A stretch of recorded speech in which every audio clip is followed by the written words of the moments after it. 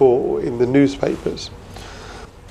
Um, one of the authors, one of Ibrahim's um, main and uh, fundamental premises in writing the letters was to let jour- how many journalists do we have here by the way? Hold your hand up. Not that many. Okay not that many. All right. Was to let you know um, that your work is under scrutiny. And as such the book also speaks to the issues of freedom of the press and the space allowed for dissenting voices the end result is a powerful and unique offering that provides the reader with a sustained argument and narrative from the alternative perspective. Um, the quasi controversial format that it employs also allows for incredulity and helpless horror at the injustices of the conflict felt by so meanly and which is so keenly and properly uh, articulated. So let me just go on to, to introduce people. On my left, as I said, you've got Ibrahim uh, Hewitt. He's the senior editor of the Middle East Monitor. He is also chair and board and trustee of the British charity Interpal and is the managing trustee, and he tells me at the moment the current headmaster of the uh, Al Aqsa School in Leicester and is the contributor, contributor, al, contributor to Al Jazeera. Is that Al Jazeera.net? That's here. Yeah. Yes, and is the author of a previous book called What Does Islam Say? And before I, uh, what I'll do is I'll introduce all three and then we'll come back to Ibrahim if I may. Uh, Tim Llewellyn. Have I said that right or is it Llewellyn? Llewellyn. Llewellyn. Uh, Llewellyn. is- Okay, well. You've got to get that, you know. Tim, who sits on my left here, is the uh, BBC Middle East correspondent, or was the BBC Middle East correspondent from 1976 to 1980, and from 1987 to 1992, not that long ago. Uh, he was based in Beirut during the Civil War.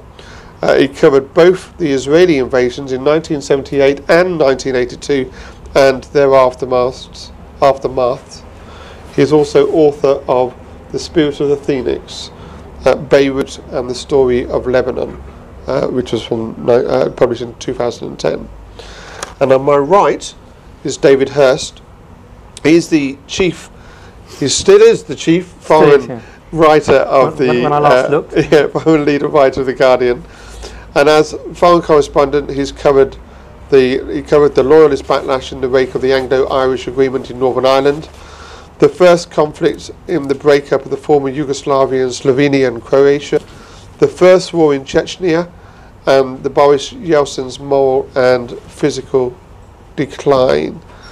After Ireland, he was appointed Europe correspondent for the Guardian Europe, then joined the Moscow Bureau in 1992, before becoming bureau chief in 1994. He left Russia in 1997 to join the foreign desk and became the European editor and then the associate foreign editor, Guardian. So, if I now will move swiftly on to Ibrahim uh, to talk about the book, why he wrote the book, uh, and uh, the messages that we can gain from the book. Bismillahirrahmanirrahim. Okay, Assalamu alaikum, peace be on you. Um, after a really splendid introduction like that, I feel a bit of a, a fraud at times. You know, when you hear the word author splashed around, it sounds very grand. Uh, in fact, the, the book wasn't written as a book. Quite obviously, it was written as a series of letters and built up.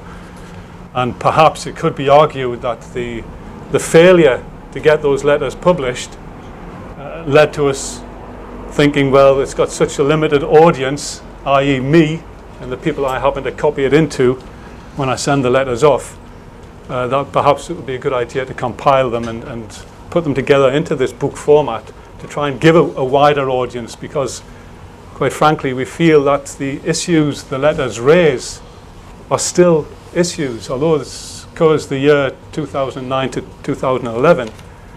Uh, the issues are still relevant and, and that's a very sad fact. But I was looking this morning through some of my papers at home, and I came across something I was involved with 25 years ago.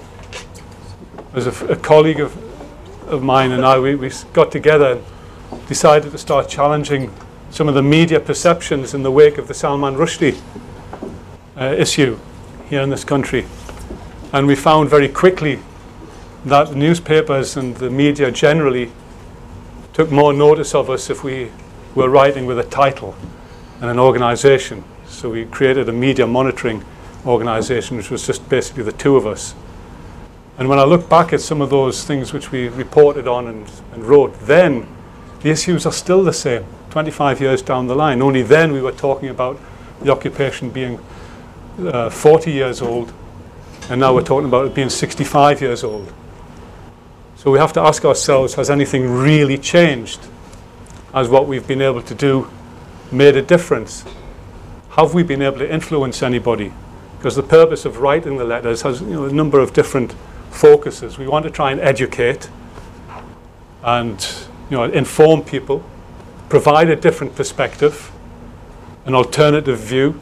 For example, today, uh, the Daily Telegraph had a big piece by Henry Winter about Roy Hodgson going to the Holocaust Memorial in Jerusalem, uh, which I think is a very, very important thing to do. It's very important that we know and understand issues like the Holocaust.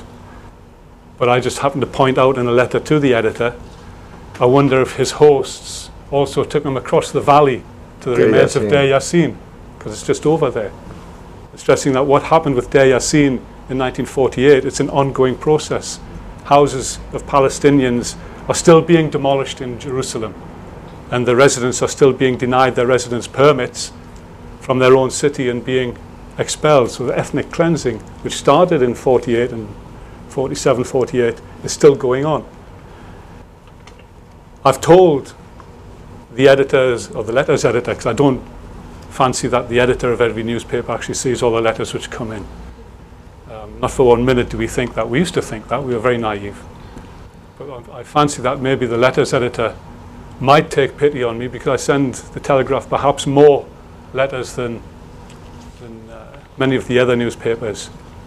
And I did actually tell the, the letters editor once, I know you're not going to publish this, but I'm telling you anyway. And that's the point which Mark mentioned before, that I think it is important that the media is aware that people do read what they, they put forward. And, I, and my brief is specifically the print media. Uh, and journalists are also aware, and I have had responses from some journalists who gives us hope that perhaps these emails are forwarded to the, the, the people who've actually written the articles to which they're relating. And this is something which I think is important that people do know. And I feel perhaps that I can take credit, in my own mind at least, for changing at least one uh, Jerusalem correspondent's view of what happened in Gaza in 2007 because we kept reading in the New York Times that Hamas seized power in 2007. And of course, Hamas was the democratically elected government from 2006. And there was a, an attempted coup in 2007.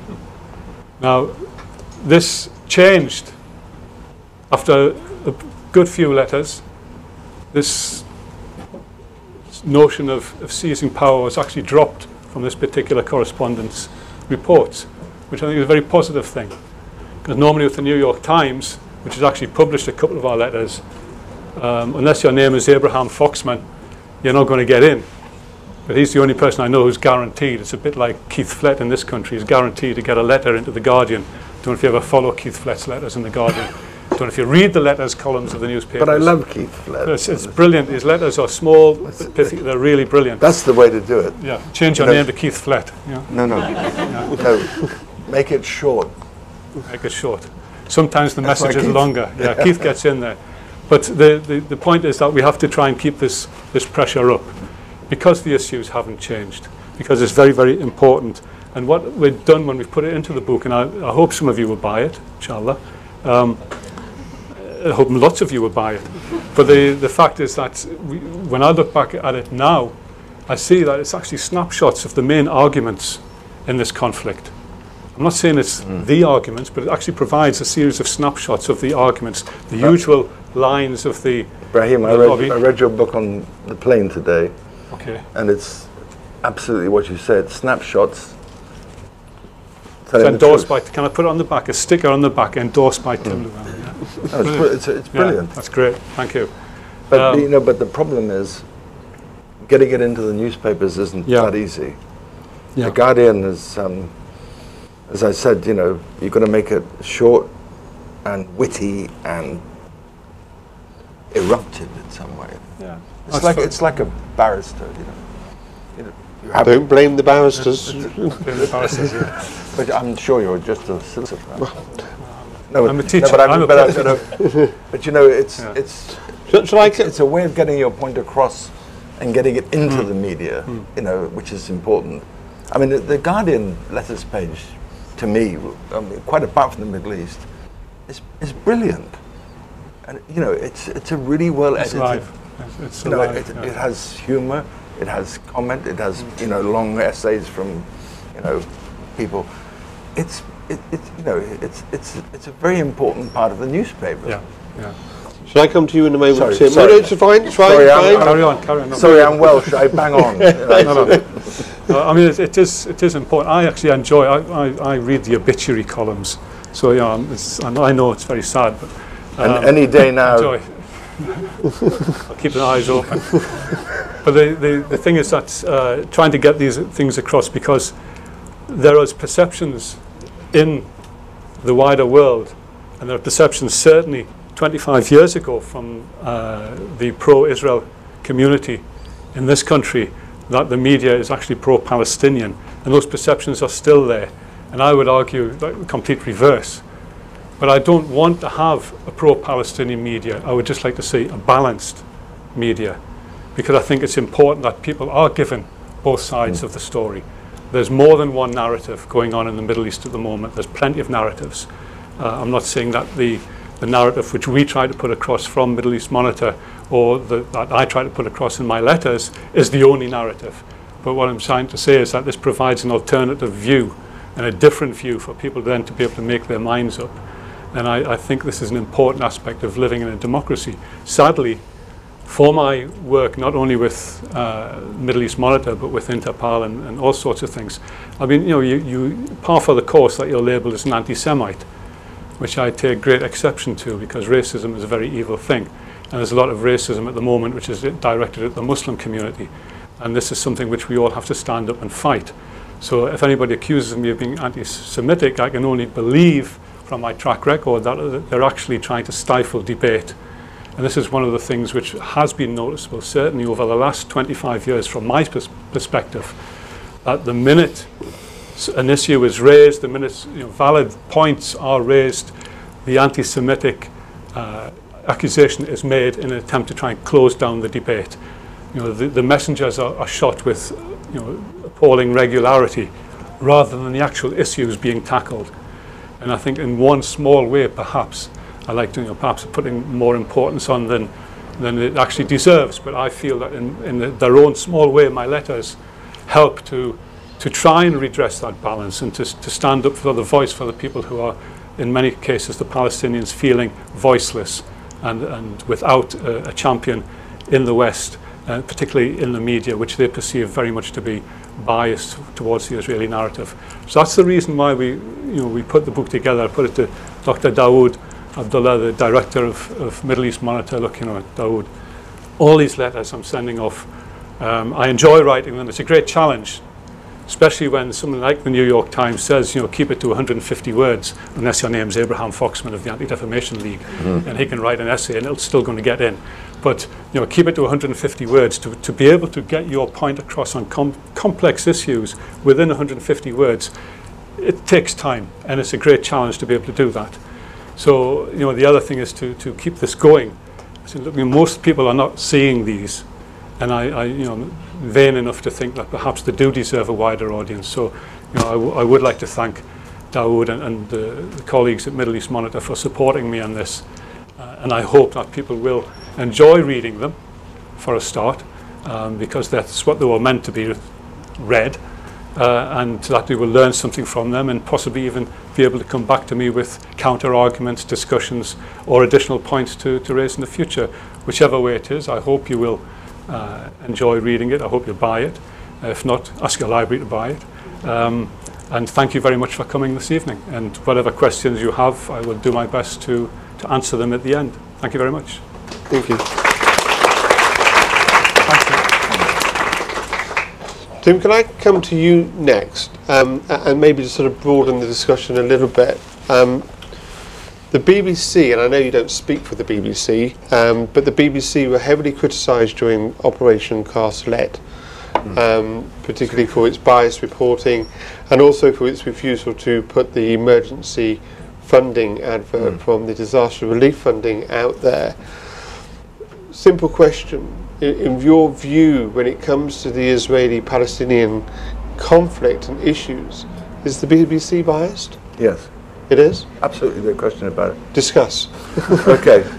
Um, you know, the BBC wasn't always like this. You know, an old friend of mine sitting over there called David Sells. When we worked for the BBC in the 70s and the 80s, the BBC was, you know, Yanni, as the Lebanese say, more or less neutral. After 2000, um, the Israelis geared up and they put so much pressure on the BBC. BBC is now, you know, its reporting is absolutely bent. I have no doubt in saying that. You know, it's just, um, how can I say it? The way they question people, the way presenters, in, you know, interpret people, the, the number of times Israelis get on the air, Mark Regev is on the air, you know, it, it, it's unbelievable how bent the, uh, the, the BBC is at the moment. And I've, I know, I, I can't say it because I know people, you know, I can't be a whistleblower. I know, I know one or two correspondents, and they've told me, you know, the pressure is on them all the time, always to caveat um, a report about the Palestinians, to caveat it. In other words, you know, the Palestinians had a bad time today, but the Israelis also had a, you know, and you can see it. I, and I, you know, I, I used to do this. I didn't do it that way, but I used to do this. You know, I, I know how these guys feed in that sort of um, replicant um, piece of, okay, okay, we, we were bad to the Palestinians, but Israelis also had a bad time. So that's one thing. But the other thing, which I think is more important, um, is what I call corrective context.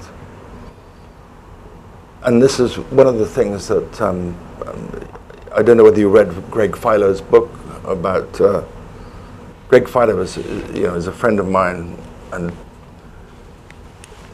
they did, they did a massive piece of research about the way that the the first years of the second Intifada were covered. You know, they, they examined it in terms of language, in terms of the way you described things, you know, the way you, everything was, um, you know, uh, I don't know, sort of, sort of objectified in some way. These are people like us. You know, the Israelis are people like us. You know, they, they, they drive to the supermarket. They, you know, it's a sort of natural instinct there. But, you know, the, the way the BBC started to report this in, in, in the early 2000s completely changed from what it used to do. And I mean it. And I watched it. And then we examined it and we analyzed it. You know, it, it's, it's, it's just dreadful that the, the attitude is that I don't know. It, it's it's very hard to describe. You, you know, you don't know where it comes from. Is it coming out of some sort of racist bias or some sort of idea that you know this isn't the outfit that I used to work for? And and um, bringing it back now to to But con- sorry, I'm, no I'm- no fine No, I want to finish my point. okay no No context, context context, corrective context. yes You know, when the Israelis bomb Gaza, it's, the BBC always says in response to a Palestinian rocket. Now you have to th- imagine that Palestinian rocket going to Sderot, which is a former village. Nobody ever says that. Managed, yeah. You know, I'm okay, it's bad, they, they shouldn't do it, they're, they're idiots. You know, they fire a rocket at Sderot or, or you know, or, or somewhere in the. The next, the next thing the Israelis are, are using the weapons of war against these people. You know, the Palestinians are, you know, are, are- not an army. You know, and I, I'm not pro-Palestinian. I'm looking at it from a human rights thing. You know, these people are being punished. You know, nobody knows in this country that there's a ring round the Gaza Strip. You know, which, which is a free fire zone. Any little boy goes in chasing a football. You know, I'm- you know, I know it's, but you see, the problem is, I think, for the. Sorry, I'm going No, to. no, no. Go. I'm you go- I'm can't go- finish your point because I want to. I'm going to bring So, you back. yeah, okay.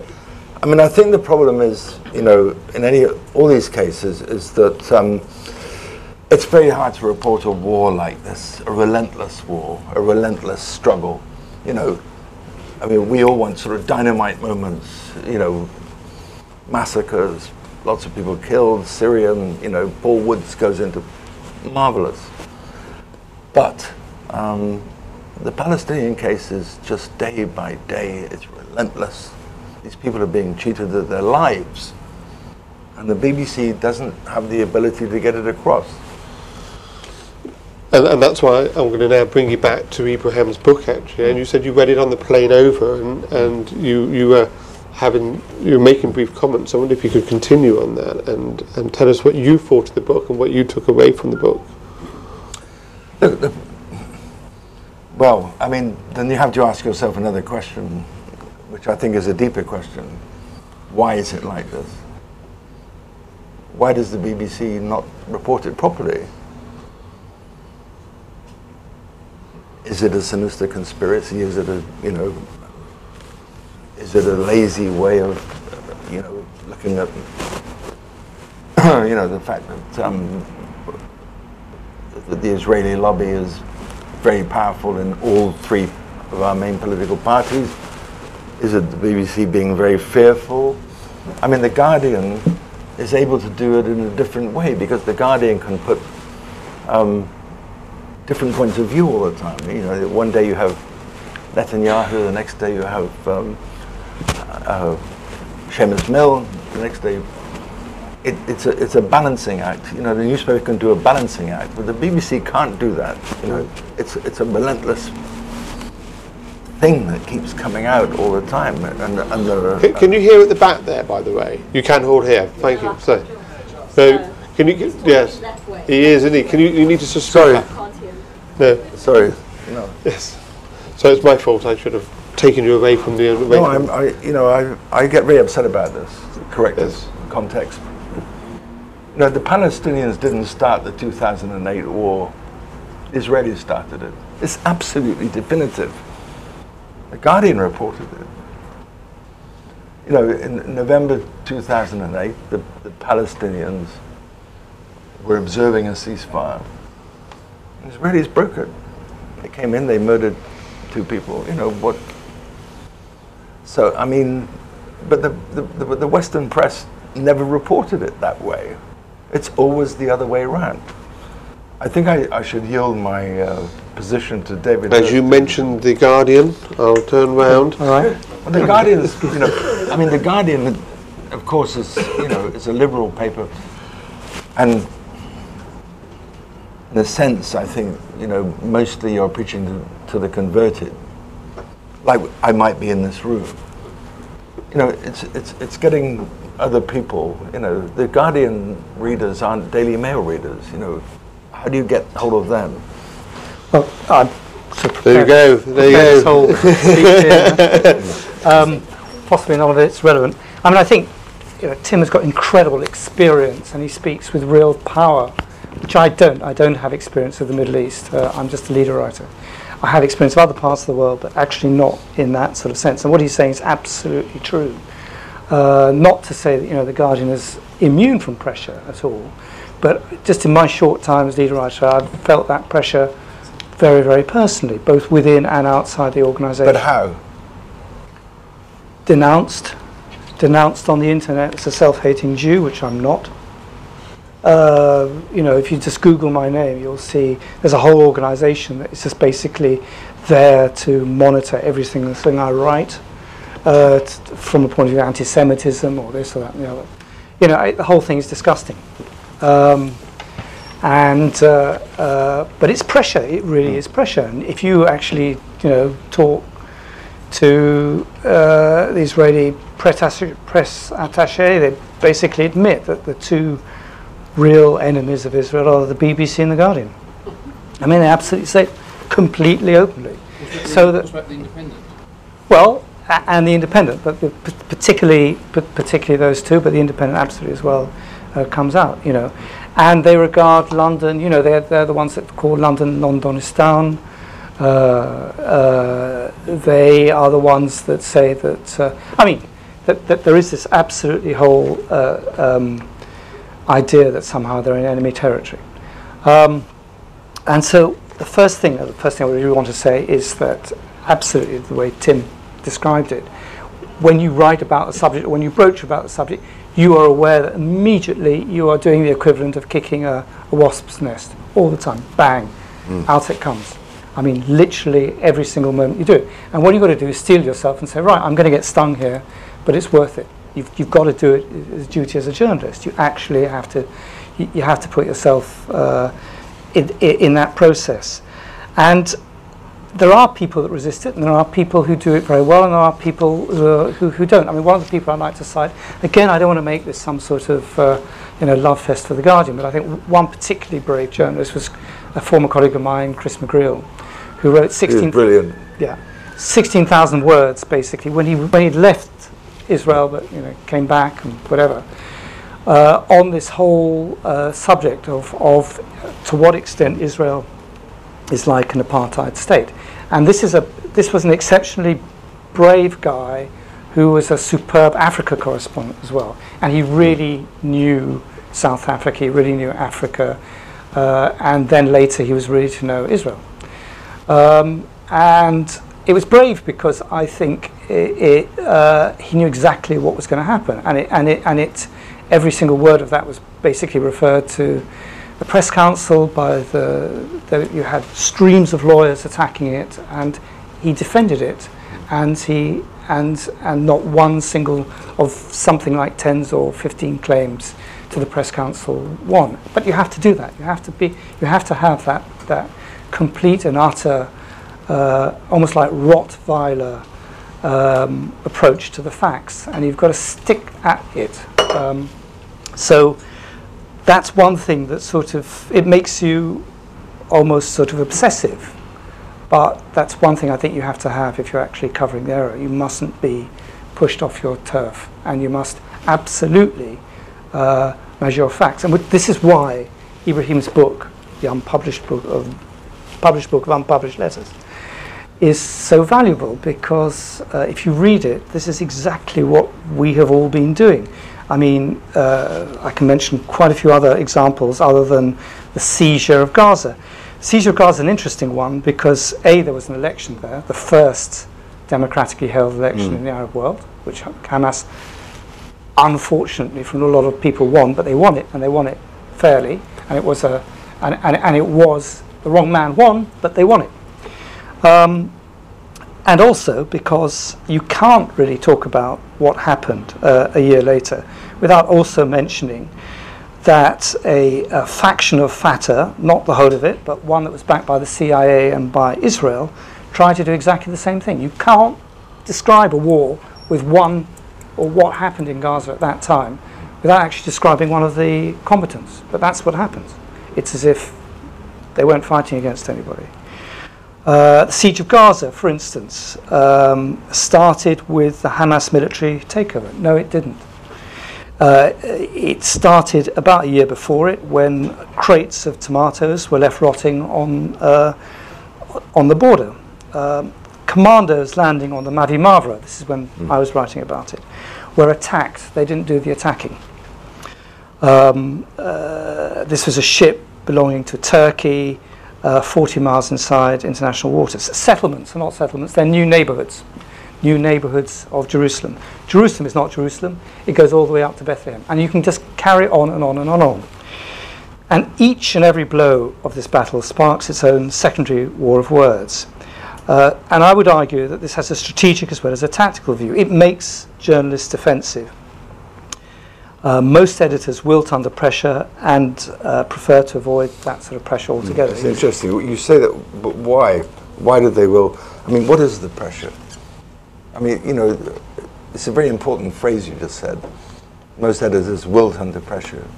Now, is it because, you know, I can see it in the BBC, they're fright, you know, these people are quite aggressive, right? The Jewish lobby is not much fun. No. And they come at you from every direction, you know. It's a You know, pro-Israel. if, you, if, you, if you're, I mean, that's very important to, you're- to say you're that it's not Jewish, it's not a Jewish lobby. they- it's, Pro-Israel. can I can I They- interrupt? Can I interrupt a second? It's not a Jewish lobby. It may be a. Zionist lobby. It might be a pro- pro-Israel lobby. yeah, but they use the Jewish connection to, to get Yes, you. but it's not necessarily a, a Jewish lobby. All right, I it's an think Israeli. Oh, it's Israel- Friends of Israel. Let's, Yes. let's, let's not let's not be too polite about them because they're not very polite about us. Right? Yeah, but they're not Now, our teachers. but why you are we afraid of them? That's what I don't understand. You know, I mean, I'm you know, we're all British. It What- you, I mean, you know what? What is it it? what, what can this guy do? What? it requires. It, I'm it- British. I'm you know I it may, I may be Welsh, but I'm. what, what were we I think sorry. I think it requires quite a lot of persistence. It it, it, it requires a completely unshakable uh, preparation. I think there's there there is. I mean, this is an apolitical answer, but I think it's a real one in terms of newsroom. It requires a lot of energy, and people don't have that energy. People don't want the fight. Uh, it's not particularly productive in news terms, um, and they want to move on to the next subject. That's not a very clear answer, but I mean it's a real one. It's what No, actually but, it's, uh, but, but David, that sounds a bit wimpy to me. I, mean, I know, I know, I know, I, I absolutely, and I don't do it, but I mean I just see it around me all the time. I mean, you know, And there's you know, as I said before, the Guardian, because it's a newspaper, it's it, it can do spreadsheet, it can do, it can do Seumas Milne one day, it can do Jonathan Freedland, soft Zionist the other. You know, it's it's it's it's it's, it's a kind of matrix. Well, The BBC can't do that. The BBC is a linear organisation. it requires okay. a- a- Another, and maybe this is a better uh, way. It requires strong editors, But they are. And they it are requires editors absolutely to back you up. Well, David And it finish. requires But strong editors. terrified by To- the.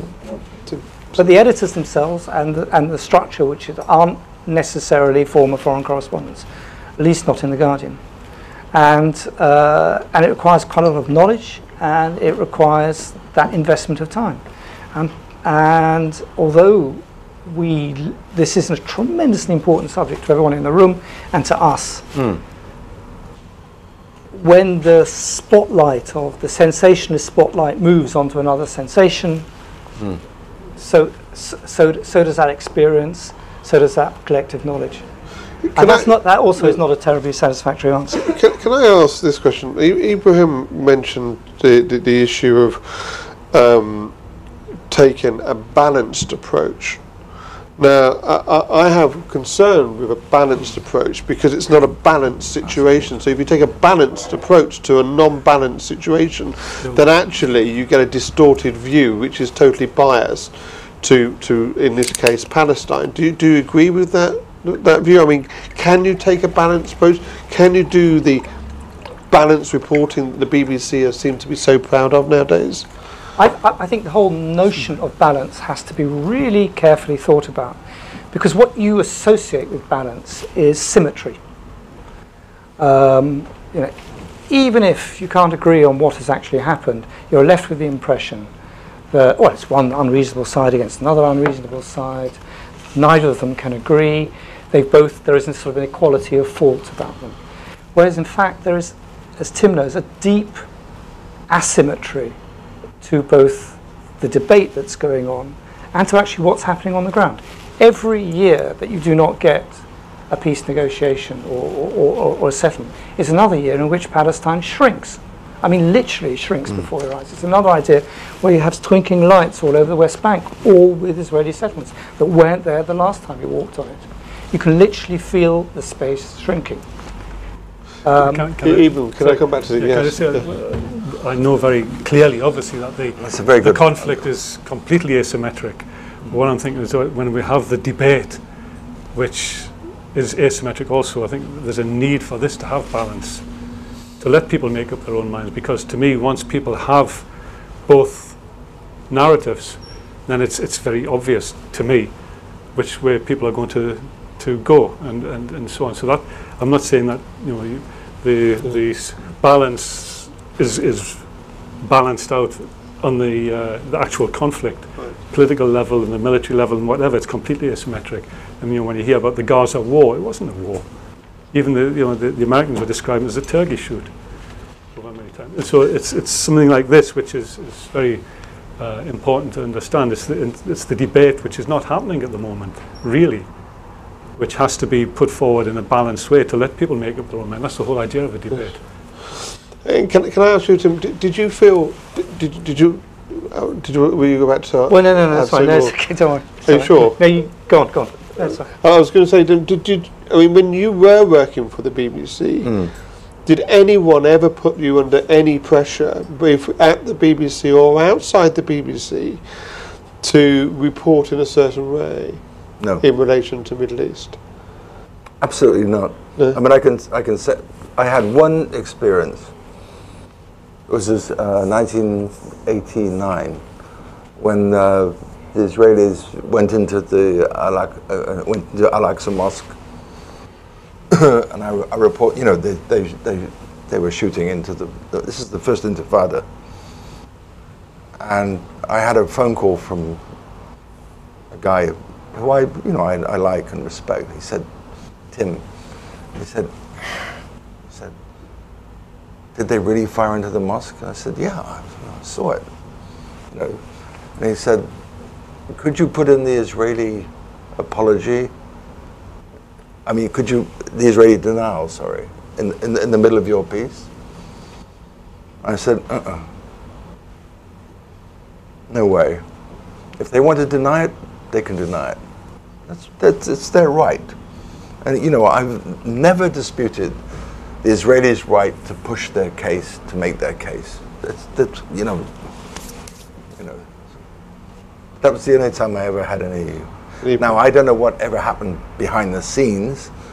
You know, sometimes stories probably got dropped, um, but I, I'm not a conspiracy theorist about it. I never had any uh, direct experience of being, and the thing was very different, you know, then between 1975 and 19, uh, 1990. You know, the um, we were able to report There's a whole, what whole was going on. there was a whole program Yeah. dropped a f- few weeks ago. No, mind an item. There's a whole program dropped about uh, Yes. No, I mean, there's Yes. something sinister going on now. I mean, there's, they, they dropped a program about um, the, Archaeological the evidence. archaeological Yeah. thing, and, and then we never got a nice answer, did we? It, they- it was a bullshit answer. I mean, uh, it's, it's a friend of mine. uh, She, she knows more about this than I do. They said they dropped it because it didn't fit into schedule. Yeah. Editorial, editorial didn't fit. And you knew it. I mean, D- David, I, I interrupted you, and you were about to say something. So should I come back to you now? Well, no, yeah, it's it's it's, it's just that we've um, we've talked about the the past. Um, if you look ahead and see well, how the media is going to cover the future, I just wanted to say just a few words about that. But I mean, it's not no, no, please maybe directly relevant to the to the book. There's this, you know, there's this whole play on the word of urgency, the urgency for a uh, a solution, the urgency for talks. And Burt, Alistair Burt, who's the uh, Foreign Office Minister, is in Ramallah today, or was in Ramallah today. Um, and, um, you know, the peace process has variously been described as moribund, um, as on life support, or as dead. Um, I, I think of it as dead, but I'm not allowed to write that. Um, uh, See, that's another thing. You know, why aren't you allowed to write that? That was my question. I was about to say that. Because at the moment, uh, the Guardian supports a two-state solution. The Guardian supports the. The two- Guardian supports a two-state solution. You see, And- see, this is. I'm sorry. I I mean- you know, I, I really like you. I think you're a very bright guy, and I know you're under a lot. of- Before I criticise you, I just want to tell you how wonderful you are. No, but, I, but, but, but, you know, this is the this is the fundamental question. Why aren't we allowed to say the two-state solution is dead in the water? Al Haaretz says it every day. It's fin- it's finished, but we have to. You know, the Guardian's not a. It's, the BBC, you could say, okay, the BBC is part of the government. I mean, we, we're paid by the government. You pay, all of you pay, by the way. You pay for the bullshit the BBC. but but, but it, it's part of the government system. The Guardian's an independent newspaper. It's a, it's a trust. That's, that's, Why, that's, why, why, that's do- why, why does the- the Guardian have to To- be? That's, actually one, of the, that's actually one of the paradoxes of the whole thing that the media in Israel is often more lively and Hmm. robust on this issue than the media in the so-called diaspora in, in New York and you know, in Europe. And that's one of the paradoxes. Have they published any of your letters in Israel? Um, given that I'm Hebrew actually banned very in good. Israel because of my work with uh, Interpal and the Palestinian Relief Fund, I'm not allowed to go to Israel. I wouldn't imagine that they've Brahim. published anything over no. Brahim, you should you should learn to write Yiddish. You know, you get it. Hebrew, yeah. Yes. No, Yiddish. I have enough Yiddish problems is with English better. now. What, what I want to what I want to do Majority. what I want to do at this stage, if I may, is open it up for some questions um, from the audience. I'm sure there are going to be many questions. So, um, could I ask if you're from an organisation that you tell us, but if you're not, just your name will do. so, hands up. There's a roving mic coming over to you. Sorry. There should be. Oh, there you go. Thank you. My name's Kate Thick. Um, you can't be doing everything wrong because in a recent BBC poll, I heard that the Israel is the least popular country. So you must be saying something right. So, uh, so are you saying from that? Are you saying therefore the reporting, in some counts, must be quite balanced and must be in in uh, giving a true reflection of Israel? At least, at least what is happening in Palestine is beginning to become a little bit clearer. And, and, and Ibrahim, would you say that that's because because of the media or, or because of other things? We've also got to include social media into this now, haven't we? I think there's there's certainly been a sea change in that you, you do see and hear things in the media which you even ten years ago you wouldn't have you wouldn't have read or seen on television. Um, so I think there has been a sea change.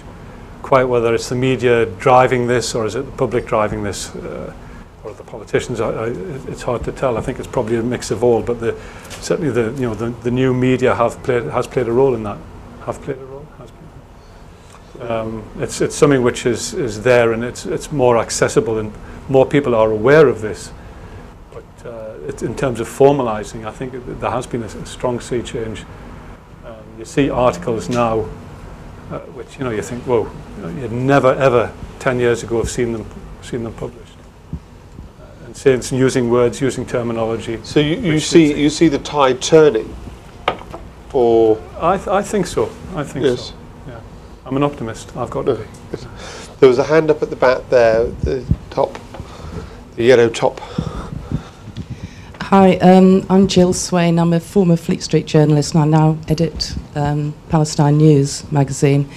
I just wanted to say really that um, I think one of the difficulties for journalists is that the Israelis have controlled the narrative to such a degree that uh, the general view still of most people in this country is that Israel's a little guy and the, they're surrounded by potential, you know, people who want to wipe them off the map, and that uh, all the Palestinians are potential terrorists, and and so on and so forth. And it would it would require uh, a lot of coverage, in particular in the sort of mass right wing, which is mostly right wing press, to really get the uh, the true situation over.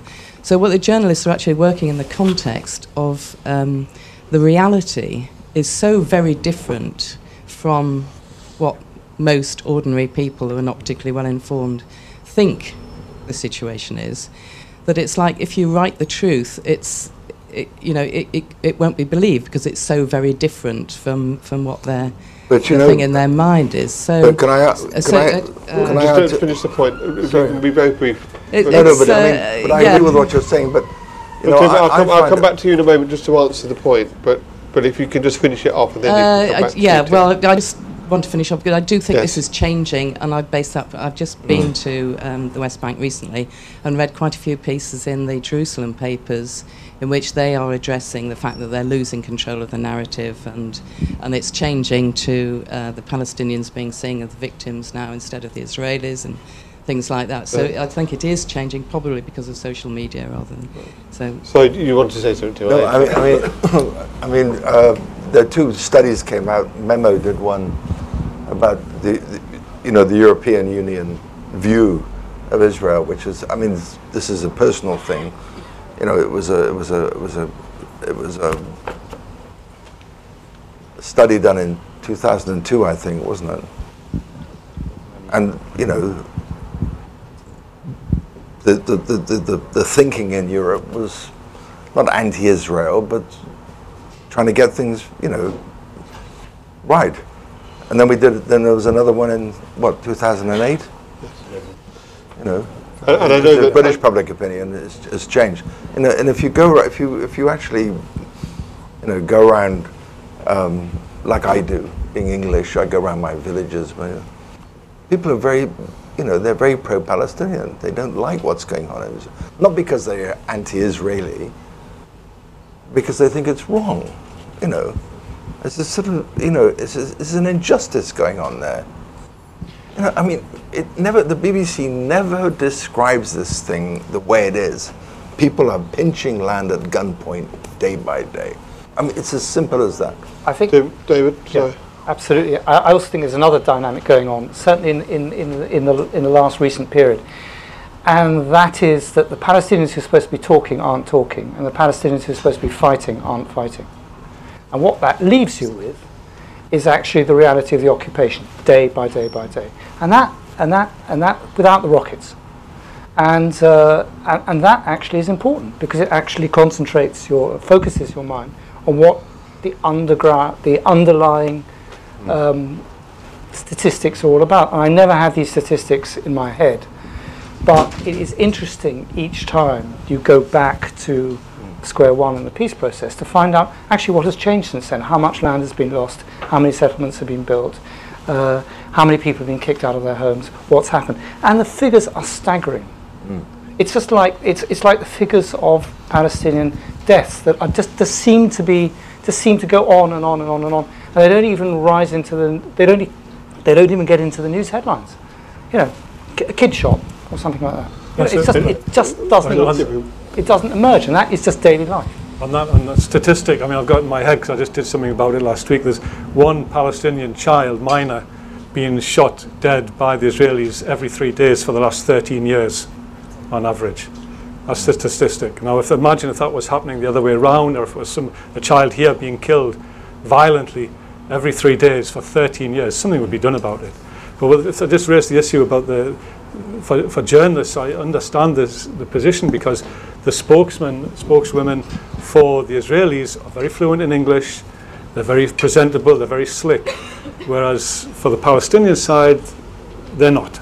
That's putting it nicely. Um, and it's, and part of that is down to the culture, and I, I raise this a lot of the time because the you know you, if you watch any Arab news program, the presenter will ask a question and then he can go away, put the kettle on, make himself a cup of tea, come back, and the guy's still giving an answer. And it's, it's, the question is a sort of a, a prompt for a lecture. They haven't got this perception of you know a 30 second soundbite. And so it's a completely different culture in that sense. And for a journalist, uh, particularly, that must be frustrating. And so the easy route out is to, to you know, get Mark Regev on because he's, he's slick and get him on there. And that's the easy way around it. So is, is, is it j- lazy Can I- can I come to this? Comfortable. Sorry. Do you want to wait for the mic? Although you've got a very strong voice, we'll we'll wait for the mic to come your way. Is it going to be a question? Uh, uh, well, it's an answer to the question, the point which was raised that one of the reasons why Israel has got a worse press is the present Israeli government, because they come out absolutely straight. And one of the coalition members who calls himself Jerusalem Home and he's an internet multimillionaire, everybody ought to remember who it is. Anyway, the present coalition does not do anything to make themselves ingratiate themselves to the world at large. And also, they, AIPAC, America's Jewish Israeli lobby, they are so well organized. And I mean, we're all too nice, whether we're the Palestinians or the British, or we aren't awfully nice, but you know, we, as you say, go and make a cup of tea. They don't make cups of tea. They get, and they are desperately tough. Uh, what is it? Moses said that they were hard necked people. They are. And they are so well organized. And I mean, if nobody sees that they're going to take over the entire gonna- former I'm gonna- Palestine, I mean, they are. This is I'm going to cut you short because I, what I want to do is I want to get some questions for the panel. No, no, no, no. Oh, right. Now you're leaving. Um, hope it wasn't me. okay, questions. Lady in the blue dress, and then I'm going to come to a man. Hello, um, Hello. Isabella Scott. Um, one of the questions that was posed that was really interesting was about balanced reporting, and it's a kind of a philosophical question whether you can report in a balanced way and whether it's appropriate. And one of the issues um, I think could be that um, when you choose which statistics that you refer to, you, you do almost immediately pick a side because you have Palestinian statistics and you have Israeli statistics and Palestinian facts and Israeli facts because they come from various sources. And I wondered whether uh, how the BBC and how the Guardian perhaps deal with those kind of questions. I mean, obviously there's facts of, you know, dates which can be more specific, but in, I- in, in terms of, I disagree with that. you disagree, okay? I could disagree. There's some great Israeli statistics, and there's some great Israeli organizations like B'Tselem, uh, and a whole bunch of people who are prepared to stick their neck on the line. There's some great stuff being done um, in the Negev, uh, there's in South Hebron, about a whole variety of issues. Now, the information's out there. It's a question of who says it. If the BBC says what's in Haaretz, for instance, there'll be a riot. I mean, uh, i- the stuff is out there, and it's in Israel as well. It's a question of whether whether the BBC or the Guardian can actually say it. I mean, oh, it's just Uh, the- I, I mean, out of interest, question of Ibrahim, I mean, what. where, where do you get your sources of information from? That, that statistic about the children was from the B'Tselem, the Israeli human rights organization, uh, from their website. But you know, you don't need to get any information from anywhere in Israel. Let go there. I mean, I can wa- I could go tomorrow uh, to Jerusalem and walk down into 50 yards from the the American colony where Tony Blair lives, right? Used to. and watch an Arab family being kicked out. You know, I mean, and you can get you. I, I used to drive, even when I was I, I want long since. I wa- do want to go to some more, some more questions, but maybe Yeah, part of what you say. No, but I mean, you can go questions. every. Israel is a free country. I mean, Go there and see everywhere. it. As a, as a, as a, Well, no, I don't, don't, don't say that. in a- I don't say that in a can't go dismissive there. way. Going there and seeing it foreigner. is, is actually quite important. I've, I've been there, I've seen it, and it changed my my life and my experience as well. Questions? Uh, the man in the blue shirt at the front here. Hi, my name's Matthew. No organisational affiliation. Uh, we had the beginnings of what I thought was quite an interesting disagreement a bit earlier. So, um, Tim, I think you said that unequivocally, in your view, the BBC is biased in its reporting. Uh, David, I think you sort of told us comments which you've heard elsewhere, which is the BBC is kind of number one enemy or number two enemy or a major enemy of the Israeli state. My question is, I guess, to Ibrahim directly. Um, for the for the balanced view, BBC biased or not biased? Um, I think there are certain sections of the BBC which are, are very clearly biased.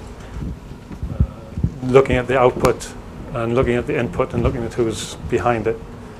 Um, and I, I, I would love to be proved wrong. But the, what I've seen is that it's, in my opinion, there is biased reporting from the BBC. Can, can I can I ask a follow up question? Is it biased because of lazy journalism, or biased due to people who have a very set opinion be it pro-Israeli? Well, so I think No, no, I'm just going to ask Ibrahim. So sorry to. Um, I think it's, it's both. I, I'm- I know I'm sitting I on the can't fence there. this stuff. yeah. I, I, it's both. I think there is lazy journalism. Part of the reasons that I've said, it's easier to get a straight answer out of Mark Regev than it is out of a Palestinian Authority spokesman. Simple as that. And if you're on you know, the Today program uh, and you're, you're not asking the questions you should be asking, because you know you, you don't ask the questions you're supposed to ask because it's going to provide uncomfortable answers, perhaps. I mean, I, then you know, yeah. sorry, Tim. Yeah. Um, then you know that something's something's wrong somewhere. I'm going to go back out there, Tim, because I want to. I want to. I really want to take some more questions. You can see lots of hands coming up. The man with the beard at the back. That's you, looking behind your shoulder. No, that's you, definitely you. Um, hi there, my name's Nick. I'm just a concerned member of the public. Um, I have two questions. First off is regarding The Guardian, which is obviously seen as the more liberal sort of viewpoint within the UK. I'd specifically like to ask a question concerning the capture of the corporal Gilad Shalit and his release afterwards. Most of the Western media's reporting on this, including The Guardian's, was was that the conflict which arose out of that started off with the Hamas capture of Gilad Shalit. Yet, following this, Noam Chomsky has been publicly known to state that that was not the starting events, but the starting events happened a few days prior, which um, involved the kidnapping of certain uh, members of the Palestinian community.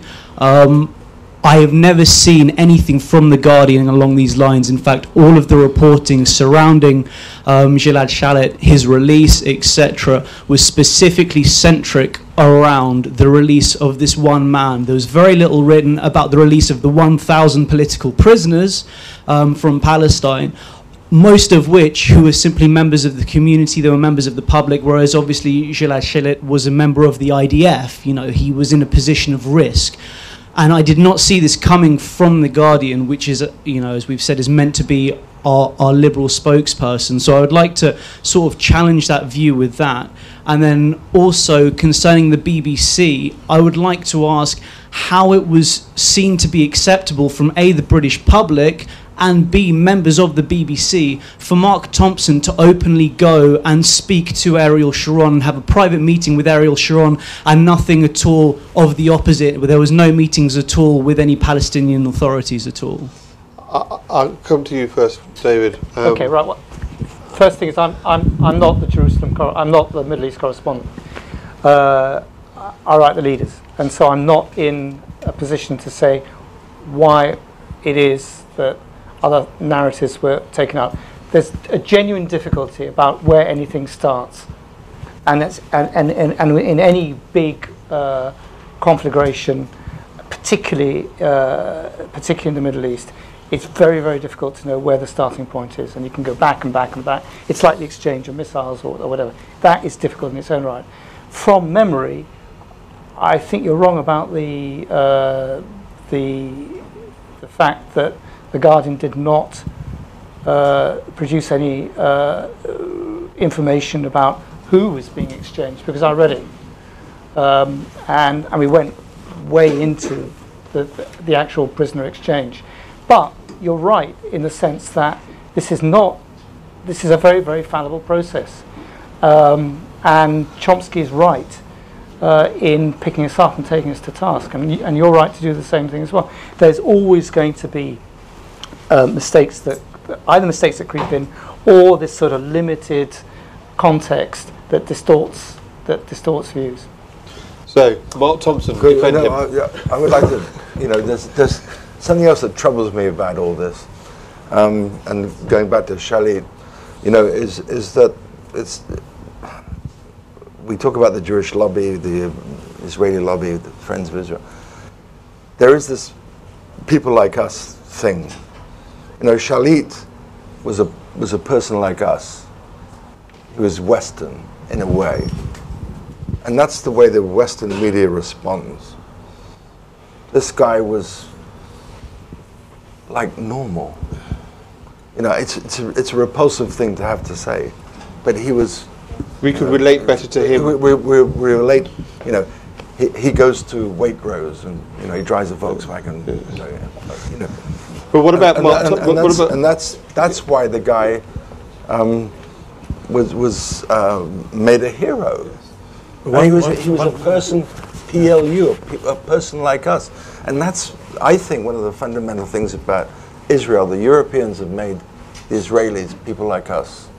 But coming know- back you to the, so- the, so the we all actual- identify the, with the actual question in relation to Mark Thompson. uh, Do you think you're in a position to ask position in relation to criticism towards him and the meeting that he took place in Israel, particularly just after Operation Cast Lead? I think it was a very bad move.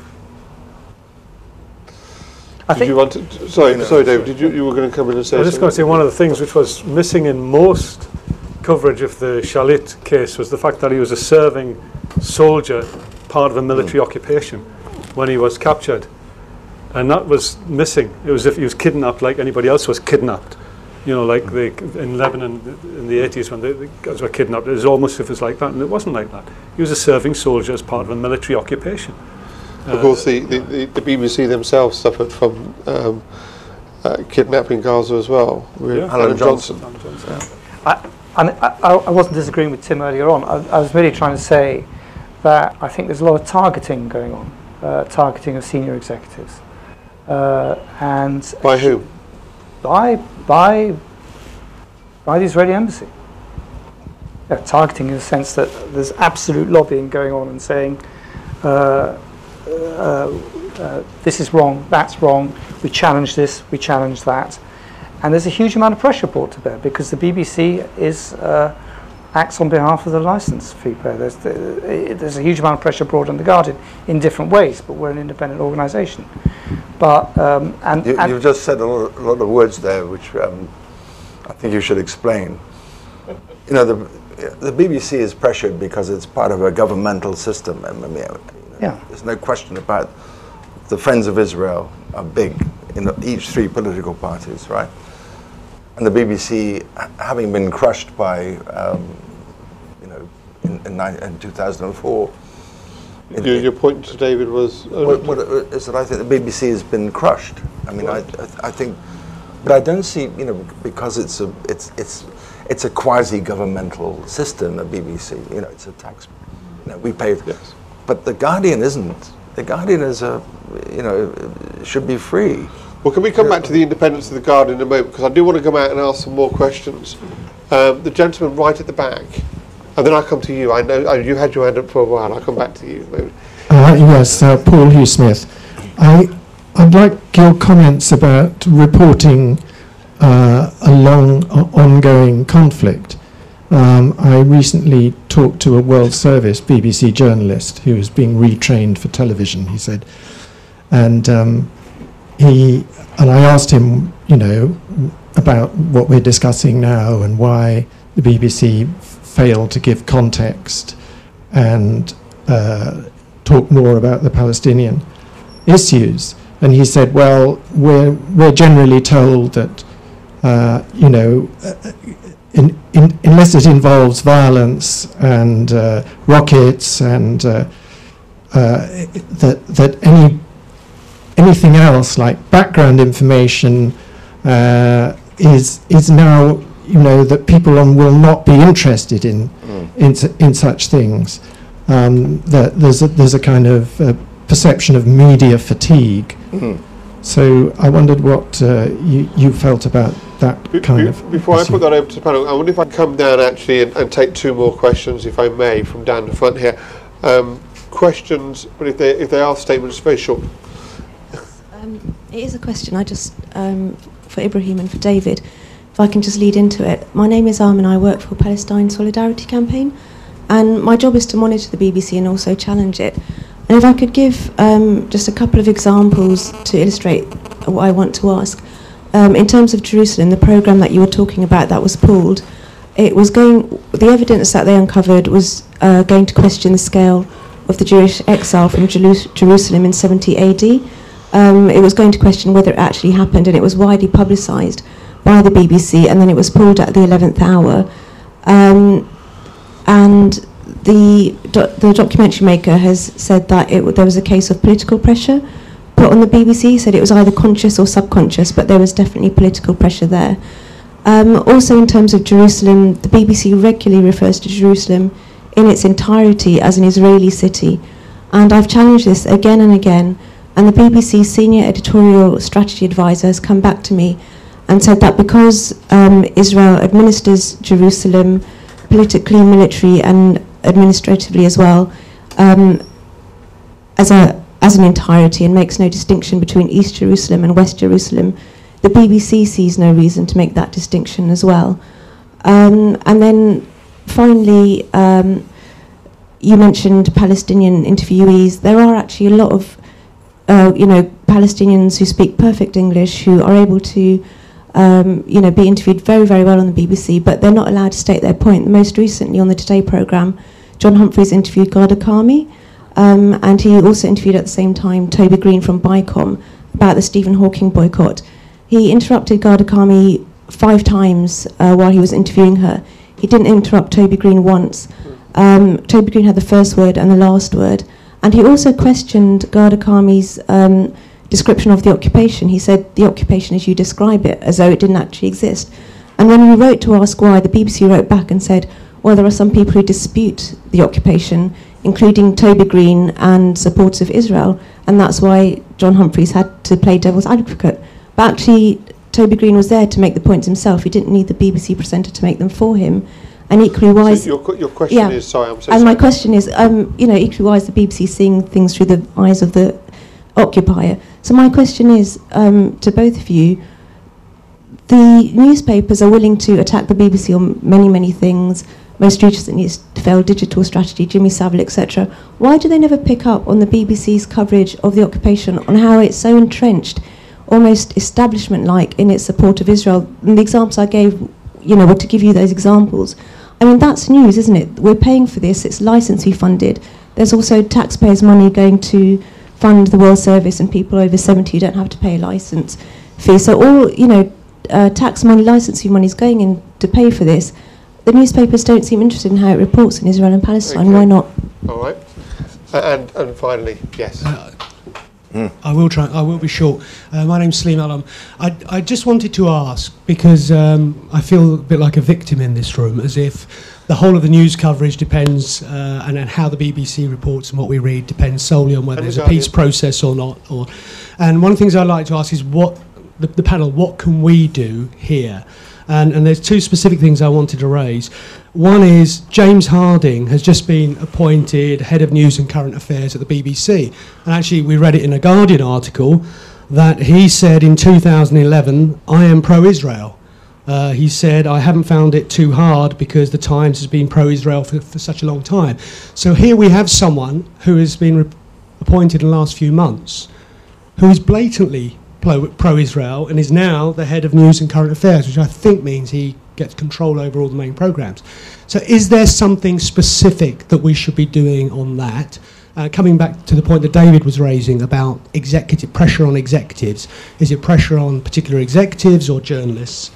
Um, and the second thing uh, I'd like to ask is um, are we at a point with James Harding's appointment that we should be saying that actually, I mean, to you to sort of paraphrase the words of Macpherson, the BBC is institutionally racist against Palestinians and the Palestinian narrative.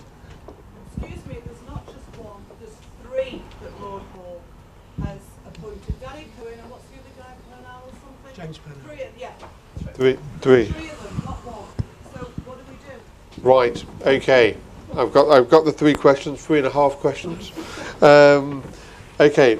Media fatigue on Palestine. Um, uh, is it is it because people simply don't want to know the background? It, it's also because the uh, the conflict itself changes. Uh, I mean, one of the things I was going to say um, when I was going to talk about the future is, in fact, the effect that Syria is having on the whole Palestinian uh, debate, um, and the fact that uh, Hezbollah has now set itself against Hamas, for instance, that uh, Sunni is fighting Shia. Um, we're going to get a lot of repercussions uh, on the whole debate in, in, in Palestine. It's, it's, it's in fact going to dim it completely so that uh, media fatigue, coming back to the question, uh, is also going to be a question of this huge rolling story uh, just across the border in Syria, which is affecting not just Syria but Lebanon and Iraq, and in fact the whole post Ottoman uh, configuration of the borders. And I don't think we're going to hear from Israel Palestine for a long time for that reason. Um, it isn't just simply me- media fatigue, it's a question of a huge thing happening uh, which sucks the oxygen out of the initial conflict. Um, do you think that out there the general public actually have a an interest in the background issues behind Palestine? I mean, many of us in this room do, of course, that's probably why we're here, but generally out there, do you think they care? I think the the the humanitarian issue, and it's a it's a political crisis with huge humanitarian consequences.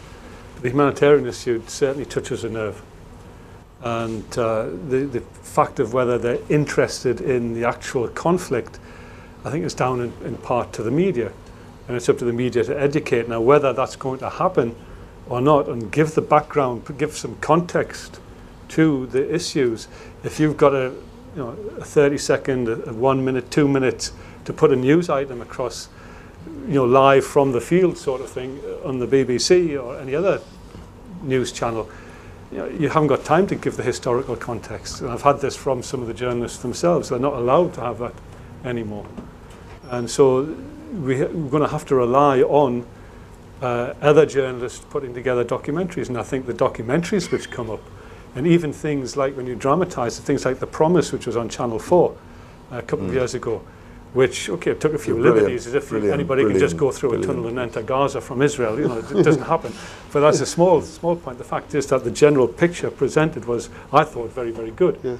Um, but, but, but you know, you're bringing back another central point, which I think we've, we've kind of not covered this evening, is that this um, act of betrayal against the Arabs is the last piece of colonial mistake. It wasn't a mistake. It's deliberate. No, I mean it's, I mean it's the last thing the British did really wrong. You know, and the, you know, it's it, they try to forget it. Um, I, You know, I, the- the- I, want to, I want to come back to, to, to the question. I want to make sure that those questions are answered. Can I can very quickly just Yes, say what course. can we do? What can we We- do? Okay, the third question, what can we do? Write letters. That's it, yeah. That's it. Write Just give me some support. yeah. Yes. What we- what we uh, can do. it- I Let it- often, I often write three or four letters on the same issue and send it to my friends and say, please send this in. Because it's a fact mm-hmm. that for journalists, for program makers, anything, if they get a response, it shows that there's, that there's an interest there. Yes. So whether it's a response for or against. And if you've got a, a journalist, for example, or a, director, a, a documentary maker, who's made a, a, program that you're not happy with, and you write in, then it's unlikely that person's going to do something again. If enough people write in, you know, the commissioning editor or whoever is paying them is not going to ask them to do another unpopular program.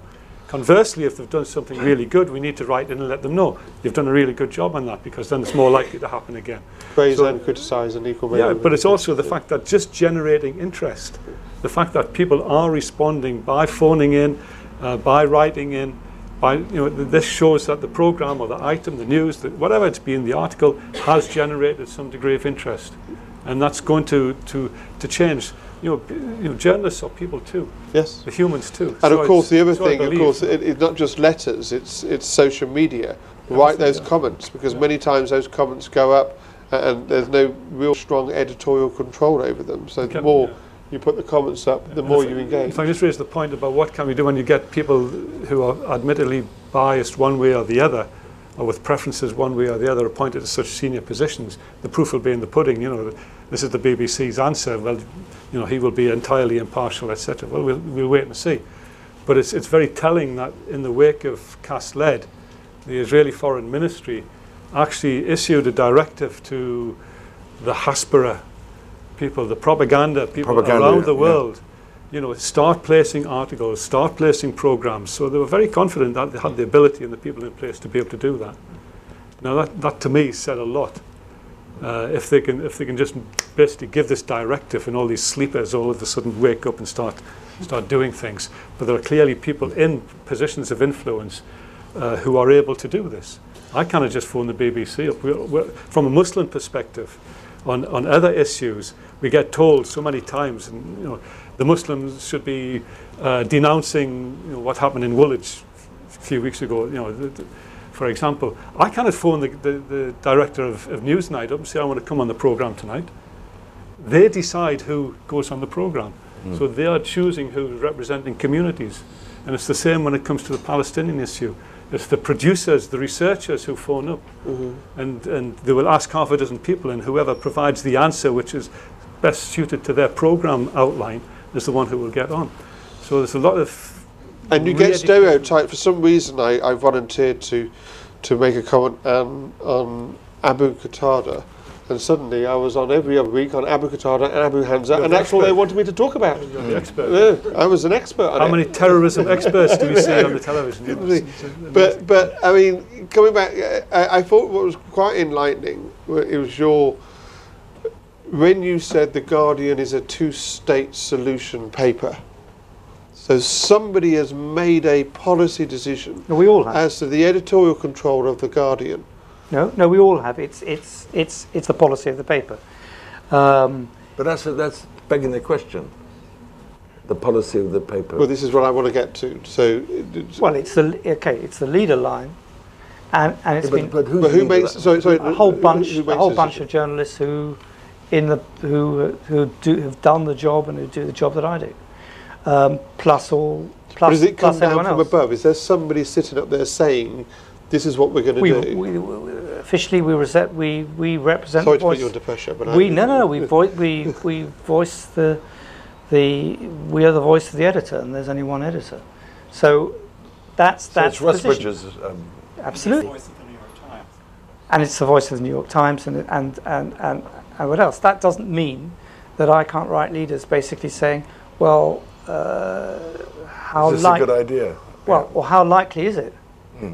When you when you know when when you basically have half the Israeli cabinet at the moment denying that there should be such a thing as a Palestinian state or, or whatever, and it, it, it doesn't concern me. I I am much more sceptical personally about that uh, uh, policy That's option very interesting. that than than than than than the actual. But I'm just being honest. and I'm telling you my individual view. I'm not representing the paper. That's my own position. But uh, you know, uh, I think that debate is healthy within a newspaper, and it's healthy uh, to talk about it. But you know, what is not healthy is basically is with the sort of stuff that we've been describing here, which is basically journalists responding or not responding to pressure. Can we go out back out to the? I know, you were the first one up, blue shirt. yes. Question or statement? I don't mind either. but But- but- us- a brief statement. Okay. Do- D- Donald, well, another line point shows the whole intellectual battle, well, I'd say intellectual battle of books. What I mean is, is I think that The Gun and the Olive Branch by David Hirst, another David Hirst, an older David Hirst, published in 1977, I mean, uh, in terms of the English, English language perspective, I think that was the first, like, detailed account of the Palestinian point of view. Uh, and now the point is now in, in terms of my knowledge, reading books, but thinking back to when I was, I remember seeing the gun on the branch like in the early 80s, like in a bookshop in a library, and I think for, for, in my in my mind that was the only book I was aware of. Okay, now in the last decade, I mean, I've just become aware there are lots and lots of books, particularly published by Pluto Press. A, they publish, uh, from my perspective, they publish huge amounts of books. And for example, in my local library now, in, in Essex, I'm saying, you know, they got the, the, a book called The Politics of Denial about the about the refugee question, which but but but, but the point is, I mean, the point is is that going, going back through the years and early in my life, in my local libraries, I would I don't think. Uh, I would only only ever have seen prose any books because the point is from 1948 onwards, and uh, and you know the only books that you could ever get you would ever get would be would be pro putting forward the prose any point of view, and there's, a- there's a fundamental underlying kind of int, int, intellectual intellectual point behind the art what the journalists news reports do. Uh, and, lady at the back there. I've always wanted to be that person that says, "A lady in the glasses at the back." Um, I think it's incredibly naive to say that there's no bias in anything because documentary makers, above all, have a bias. You know, journalists have their own personal bias, and ultimately, everyone has the internet to say what they want to say. And I, so my real question is to Ibrahim: of who do you want to read your letters? Then you know, because is it the editors? Is it and who has the agency to do anything? The main thing is I want people who read the, who buy the newspapers to read the letters, anybody to read the letters. Um, what we've done since two December 2011, which is when the last of the letters which are in the book were sent out, so some January last year, we wait two or three days and, to see whether they're going to be published or not, and then we put them on our website, on the Middle East Monitor website, to make sure that you know people can at least get a chance to read them. Uh, so it's, it's there, it's information for anybody who's interested in the issue to, to want to see a different perspective, or maybe the same perspective, and it might be sort of strengthening their own beliefs and, and views, might be giving them a bit more information that they didn't know about, for example. So it's basically for anything. I'm in the education business as well. And that, you know, to me, knowledge is, is power, it's understanding, and it's got to be good for, for people because ignorance causes a lot of problems. And so if we can get as much knowledge and education out there, information, uh, then people ma- make up their own minds. It's got to be a good thing. So anybody and everybody uh, would like to, to read. If the editors also read them, which I doubt, um, then that's cool if they can then change the, the editorial line. The fact that, uh, say, one or two uh, journalists have been in touch with me when I've critis- criticised them, one of them um, who was very kind to, to contact me and we keep in touch. But he said he, he, does, he objects to being called lots of things, but especially an Israeli stooge. And uh, I don't think I quite called him that, but anyway, um, I implied that's what he, that he was. And uh, it's, it's something like that. If I can make a difference with somebody by writing a letter to them, then you know, that's, that's good. Uh, I've, I, I think of if I can enlighten somebody or change somebody's viewpoint or even give them a broader viewpoint, then you know, that's got to be a good thing from the, the readers and the viewers' perspective because they're going to get a better, better news and items put before them. You know, we'll draw it to a close now. So what I'm going to do is take your question, and I think I'll take your question, and that's it. You you've already asked the question, so if I just go for you two, um, sir. I think we're leaving out the American side of this. Uh, I'm James Thacker. I represent Index on Censorship of the release of Mordecai Vanunu in 2004. Um, when I went through the IDF checks at the border, I was carrying, I was the mule. I had Chris Mitchell's tapes for that illegal interview in my suitcase. Uh, because I was American, they took the case the, the, the, the tapes out, looked at them, and put them back in my suitcase. And I got through. Chris went through the next night with some more tapes, and he was interrogated. Uh, the BBC was thrown out of Israel as a result of this. Um, but I don't think it's so, quite so uh, simple as you're describing it. I think the, the censorship is much more ferocious. When they released that on the BBC, that interview, uh, there was no prediction, there was no programming. Friends of ours in Index and all the human rights groups had no knowledge of when it was going. It went on a Sunday afternoon and it was never broadcast again, as far as I know. There's a huge investment involved in that. That's what they banned them for. Um, I think they're after the BBC because the BBC is the only uh, world organization. I mean, Al Jazeera is taking over from it. It's the only one that is still trusted. The USIA, the American organ, is in the hands of the CIA, and everybody knows this. Uh, so I think the Israelis are really very concerned about the BBC for that reason. Uh, they don't give a damn about Israel, uh, what the Europeans think politically about anything they say. Look what the Europeans did to us. They're really worried about America. And I mean, in answer to the question, what do we do? Uh, you have to be very brave. Tony Judt, who made a huge stand in New York, uh, was really had his life destroyed by the lobbies. Uh, but Ken Roth, who reported citizen you know, casualties in the second Israeli invasion of Lebanon, uh, went right to the top of the AIPAC list along with Carter. And you know, when I asked him what he thought of that, he said he loved it. He loved all the notoriety. I think you have to have a lot of balls actually to get it to, to, to do this. A really thick skin, and you need an organization if you can have one. I mean, Alan Rusbridger's opinions, uh, they say, uh, even his opinions don't, uh, don't know they belong to him. Um, I think the, the Guardian is attached to the New York Times and is not showing an awful lot of courage in all of this. Has a whole range of opinions. Uh, but the BBC, I still think, does have credibility, and I think that credibility should be defended. There was one. Well, I, di- I totally disagree. I think that, no, I- Well, well, if I come to this gentleman here, then I'll, I'll leave it back to the panel for final comments. Is that is that? Uh, Thank uh, you. My, my name is Paul Scott. I have a, uh, a, well, a statement and a question. we communication is about message and audience. So in the writing these letters, Ibrahim has had a audiences both to the journalists and editors themselves and to the reading public. Now, but you, Richard, you mentioned the comments and social media.